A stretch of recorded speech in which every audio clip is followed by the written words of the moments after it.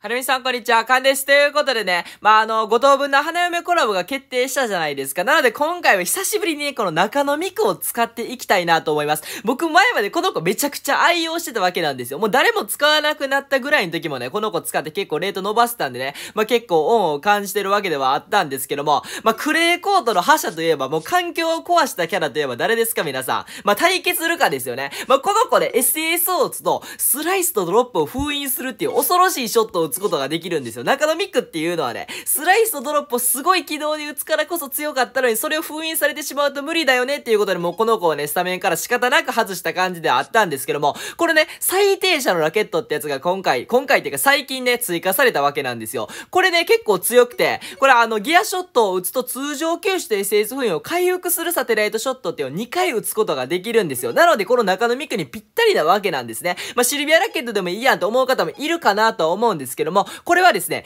通常球種と SS 封印を無効化する強化状態になるショットっていうことで、これ相手に、あの、スライスドロップ封印された後に打っても回復することができないので、これ GS 打つタイミングっていうのが結構大事だったりするんですけども、この最低者のラケットをね、持たせてあげることによってですね、まあ、その心配もなくなるっていうことで、今回この最低者ミクをやっていきたいなと思うんですけど、まあ、この子と組み合わせたら強いキャラっていうのがね、一人いまして、まあ、それが誰かって言いますと、このインデックスなんですよ。インデックスってね、SAS を打つとこの正解化ストームショットを打つことができるんですね。これは、あの、スターコート、だからこういうコラボキャラ、なんかこういうなんか、ようわからんハリーポッターのスリッチみたいなさ、あの、なんかついてるやんか。これがついてないキャラに関しては、バックで変形した時、だから利き手じゃない方で取ったら10秒間 SS 封印を付与することができるんですね。このスターコートを貼った後に、この中のミクで音痴チャージショットをバック側に落としまくってあげれば、相手 SS を全く打てないっていう状況をね、作り出すことができるんで、久しぶりにね、このやらしい編成をやっていきたいなと思います。まあ、あともう一人ね、阿久津入れてはいるんですけど、多分この子は使うことにはならないんじゃないですかね。わかんないですけどね。まあ、とりあえずこの子にはまあ結構ダメージが入るラケットを持たしています。まあ、スカルマグね、ギガスループスよりもこちらのラケットの方が強かったりするんですけども、あまり誰も使っていないのでね、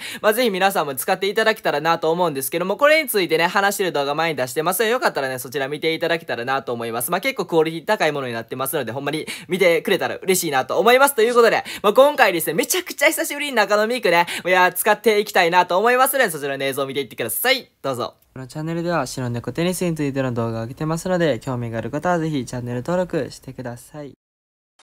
はい、というわけで1戦目やっていきたいなと思います。まあ、初手はね、インデックスで SS 貯めていって、まあ、すぐさまスターコートにしてですね、中野ミクに変えて、まあ、普通にチャージドロップであったりとか、スライスで相手のバック側を狙って、まあ、相手に SS を打たせないように戦っていけたらなと思いますということで、まあ、やっていきましょう。まあ、今、インデックスでね、GS 打ったと思うんですけど、このラケットはね、SS 自動蓄積の効果を持ってます。まあ、赤のラケットみたいなもんですよ。まあ、赤のラケットよりいい点もあるし、悪い点もあるっていう感じなんですけど、僕はこのラケットの方が好きですね。なんでかっていうとね、これ10秒間で40%まで溜まるんで、超溜まるの早いんですよ。赤のラケットってね、50%まで溜まるから、このラケットよりも、まあ、あのー、多くは溜まるんやけど、それ溜まるまでに30秒間かかるんですよ。なので、あの、初手誰よりも早く SS 打とうと思ったら、あの、色メロラケットの方が良かったりするので、ぜひね、あの、ラケット交換していただけたらなと思います。もうあのー、早速ね、相手に SS 打たれてしまってはいるんやけど、まあ、そこまで心配はない。相手スターストームをね、あの、打ち消す策がないんですよ。ストームキャラを入れてないっていうことはずっとスターストームで戦わなければいけないので、この中野ミクが得意状態になったらすげえチャージしやすくなるんですよ。なので、相手はバックで取らざるを得ないっていう状況を結構ね、あの、余儀なくされるパターンが結構多く見受けられると思いますので、まあ、あの、問題ないです。2発目から SS 打てないって感じで、まあ、してやりたいなと思います。できるかわからんけどね。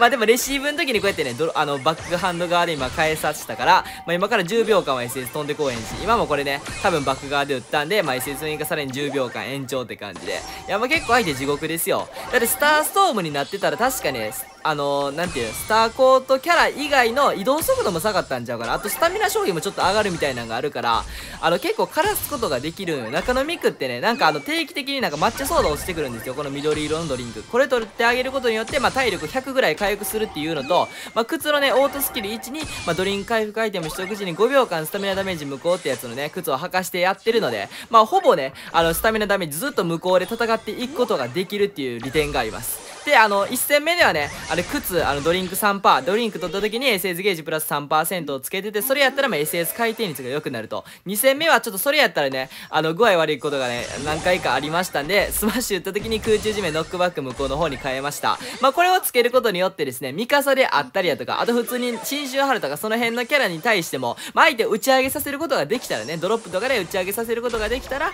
まあ、あの、簡単にね、10秒間空中地面ノックバック向こうつけることができますので、僕はこっちの方がいいんじゃないかなと。まあ、SS 回転率上げてもいいんですけども、別にこの子特徴で、あのー、何？途切れるってこともそんなないので、まあ、ぜひね、あの、まあ、好きな方にやっていていただけたらなと思います。まあ、仲間の編成とかにもよりますけどね。俺があの、ミカサ出た時ってマジで中野ミク、なんか一瞬に、一瞬にして減ったわけなんですよ。なんでかっていうと、あの、なんか、ライスをバーン刺さって、あれバーンってめっちゃ吹き飛ばしてくるやんか。あれが結構やかに中野ミクがね、まあ、あの、環境から姿を消したんですけど、僕はね、まあ、あの、その、スマッシュ打った時に空中地面ノックバック無効のね、スロットスキルを駆使して頑張って抗ってました。ただ有利ではないです。全くね。ただ、あの、中野三玖って自分が負けてる時、劣勢時の時は、なんかノクバ無効っていう能力があるので自分があの負けてる時は確実に点を取ろうっていうモチベーションで戦ってて俺勝ってる時は頑張ってね相手を打ち上げさせてスマッシュを極力打って、まあ、無効にしてそこから、まあ、たまたまで点を決めるであったりとか、まあ、体力勝負にも持っていくことができますのでそうやって戦っていったりとかしてましたはいほんでまあこういう感じにレシーブでねまああまりに相手にバック側で取らせようというね気持ちが強いがあまりに早く振ってしまって、まあ、相手の手になってしまうパターンもあったりするのでぜひ皆さんはね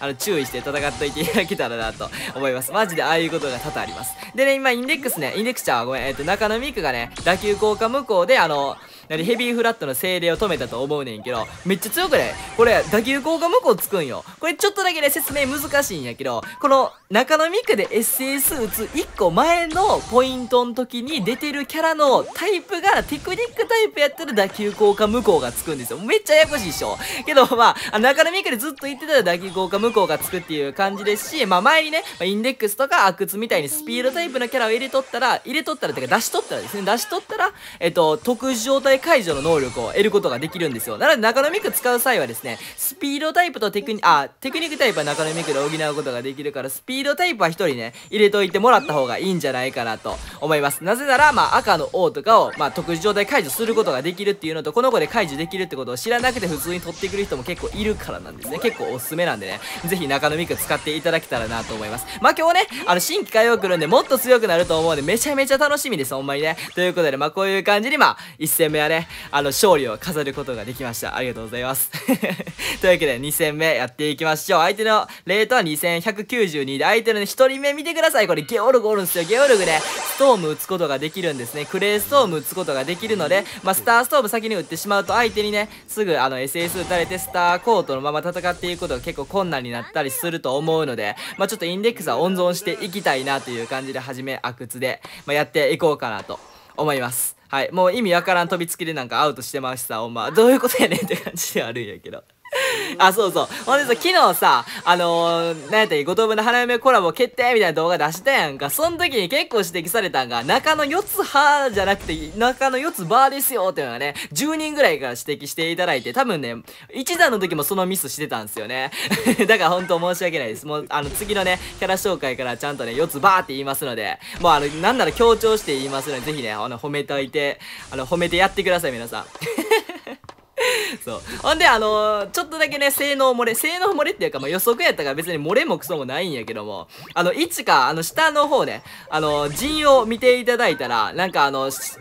なんていうか、椎名結花と同じようなギミックがね、自分のコートに貼ってるわけなんですよ。なので、入れ番向こうがある説っていうのが結構有力でして、これがあることによって、ハードコートで入れ番向こうっていうのがあったら、青コルネをね、結構駆逐することができるので、結構ね、環境に適したキャラで、まあいいんじゃないかなと思います。マジで青コルネが最強の世界やったんでね、ハードコートに関して。それが潰せる可能性があるっていうのは、めちゃめちゃいいかなと思うし、あと中野美久はね、あの、スターストーブ持ってて、かつサーブタイプなんで、新しいね、新しい中野美久はね、だからめちゃくちゃ楽しみですよね。中野一が昔の中野一がもスターストーン持ってるし中野美久もあの同じグラスコートでねスターストーン持ってるんでねスターストーン2枚重ねとかもなったら結構やばいかなと思うんですけど今んとこ僕2人とも持ってないんでねまああの当たればその編成やりたいなと思うんですけどもどうなんですかね。まあ今日ね新規開放来るんでそれプラスあの復刻ガチャも来ますのでまあぜひねあの昔のキャラゲットしし損ねたっていう方はですねぜひゲットしていただけたらなと思います。まああの性能予測性能予測じゃない普通に性能紹介今日新規開放来るんですけどけども、その性能のね、紹介とかも、